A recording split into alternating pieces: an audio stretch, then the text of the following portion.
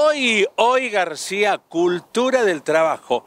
Buenas noticias. Y le digo algo, no nos alcanza la media hora. Fuimos de aquí para allá para contarte qué hay detrás de escena, quiénes están produciendo, quiénes están trabajando. La primera buena noticia tiene que ver con el Parque Industrial de Sauce Viejo, con una empresa santafesina, Balcarce Grava, y con lo que vas a descubrir, las cualidades que tiene la arena del río Paraná que esta empresa las utiliza y fabrica productos especiales. Para allá se fueron Lorenzo y la arquitecta Estefanía Amico a convivir un día en esa fábrica y a presentarles a ustedes cuáles son los productos de la construcción que desde allí salen al mercado. En el programa de hoy nos acercamos hasta el Parque Industrial de Sauce Viejo porque vinimos a conocer la fábrica de Balcarce Gravas y conversamos con su director que es Cristian Ifran, quien además fundó la empresa Gluemic y te vamos a estar presentando estos productos de primera calidad.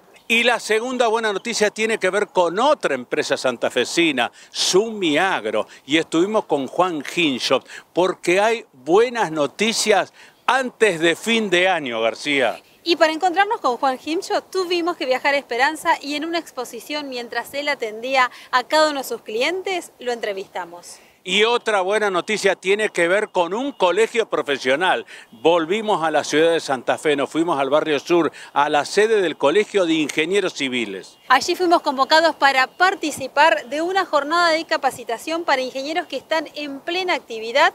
Para eso el colegio paso a paso acompañándolos obras viales, estabilización de suelo y un nuevo asfalto, el asfalto espumado García. Y te dijimos que fuimos de un lugar al otro para traerte estas buenas noticias de la cultura del trabajo.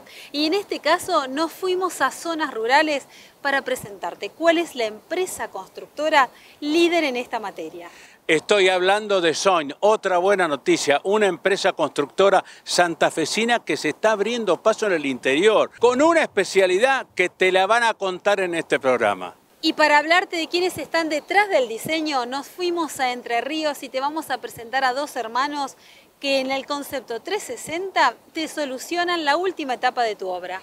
Para eso Nancy entrevistó a los hermanos Herbel y no nos queda más tiempo, García. Se nos terminó el combustible yendo y viniendo. Hasta aquí llegamos ahora que arranca el programa.